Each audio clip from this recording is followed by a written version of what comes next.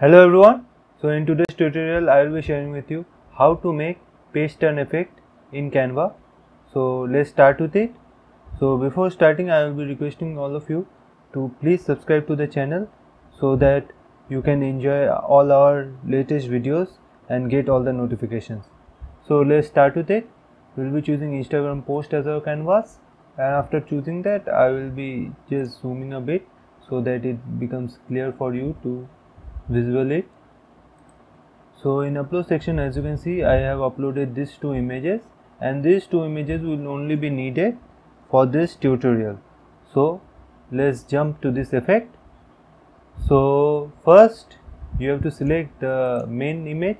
This image I have used I have downloaded and I will share the link in the description. But if you want you can select any image you want. The process will be the same. Only this image you have to download in compulsory. Otherwise in this image you can use any other image you want. So let's do the right click and set image as background. This one is done. Let's make it slide bigger.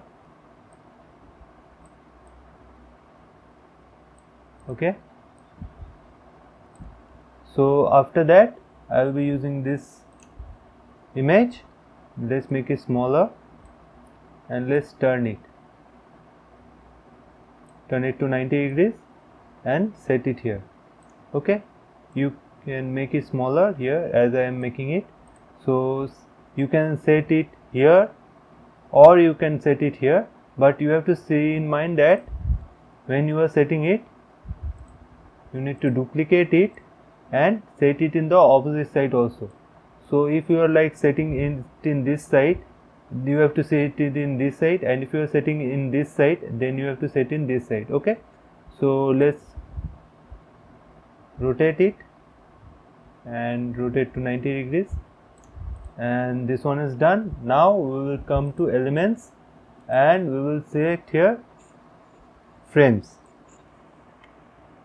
And we'll scroll down until we'll find this one. This you can see this black right angle triangle frame. So this one you have to use it.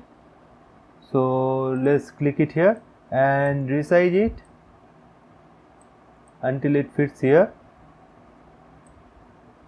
Let's resize it more. And use the direction keys to set it in a proper way okay? And also use this tilt arrow key so that you can tilt it in a better way and let's zoom it so that it looks better. Okay? So we have to duplicate it again and use it similarly here. So rotate it to 180 degrees